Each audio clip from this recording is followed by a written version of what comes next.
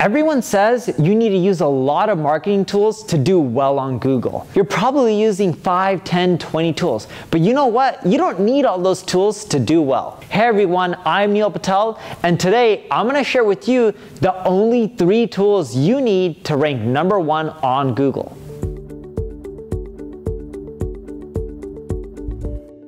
Before I get started and showcase these three tools for you, make sure you subscribe and follow me. Whatever social platform you're watching this video on, subscribe because each week I'm going to be bringing you new marketing knowledge.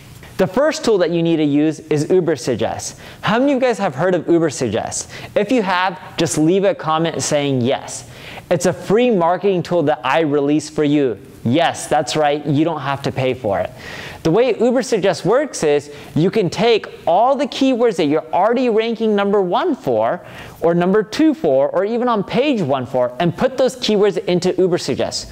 Ubersuggest will show you all the long tail variations of that keyword. Because check this out, already ranking on Google for a specific term, it's really easy for you to rank for also the long tail variations of that term. For example, if you typed in the keyword digital marketing into Ubersuggest, you'll see tons of other variations. It could be about digital marketing companies, digital marketing jobs, digital marketing consultant, whatever the list may be. If you already rank for that head term, Using Ubersuggest will give you a laundry list of hundreds and hundreds of other long tail phrases that you can mix into your content and just instantly grow your traffic.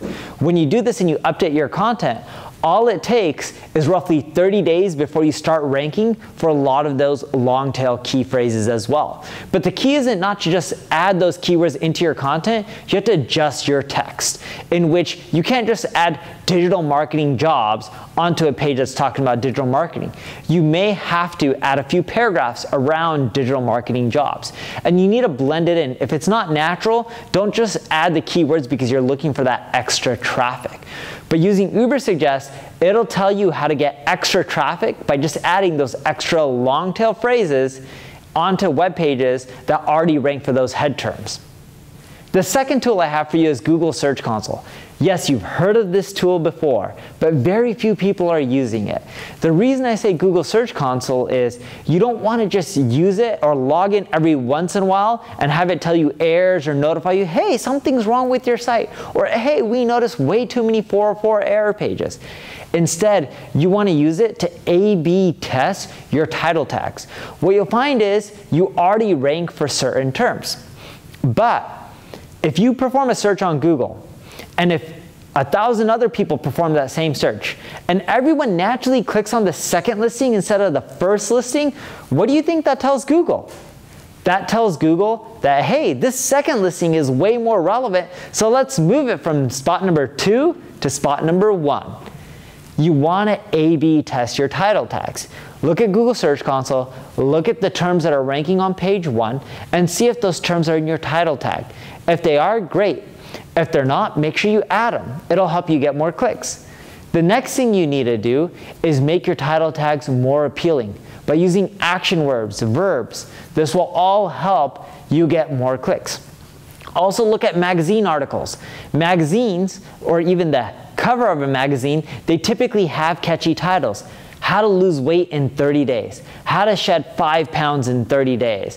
101 ways to do yoga you know, as an advanced person. I don't know, I'm making them up here. But you get the point. Look at magazines for inspiration. By making your headline more appealing, you'll get more clicks, and over time, you'll start moving up in the rankings.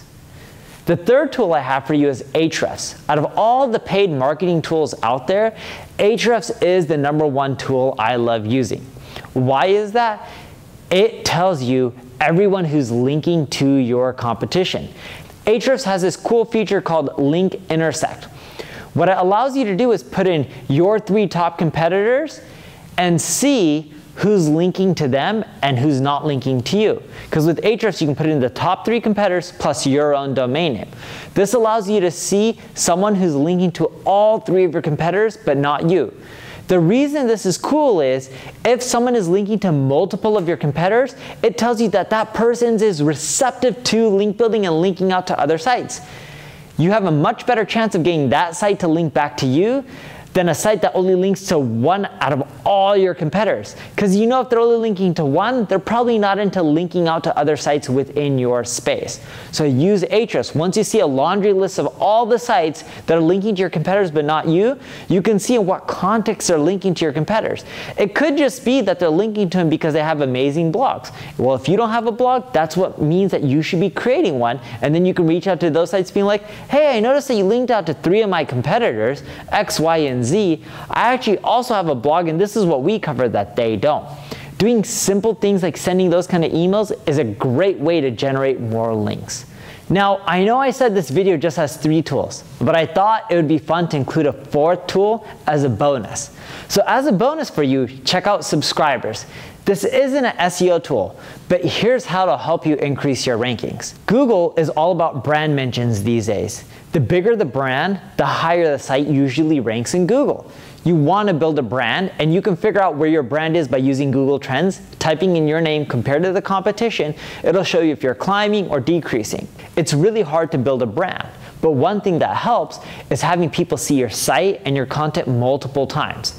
Have you heard of the rule of seven? I've talked about this in past videos, but when someone sees your brand seven times, they're much more likely to convert and build that connection with your brand and your website, whether it's personal or corporate. So by using subscribers, when people visit your website in their browser, they can instantly subscribe just through one click. They don't have to put in their email or anything. And then whenever you have a new product or service or new blog content, you can send out a blast, keep getting people back to your site, building that brand. So in the long run, your rankings are gonna climb. Thank you for watching. Make sure you subscribe, leave a comment if you have any questions, share the video, tell other people about it. I really appreciate it.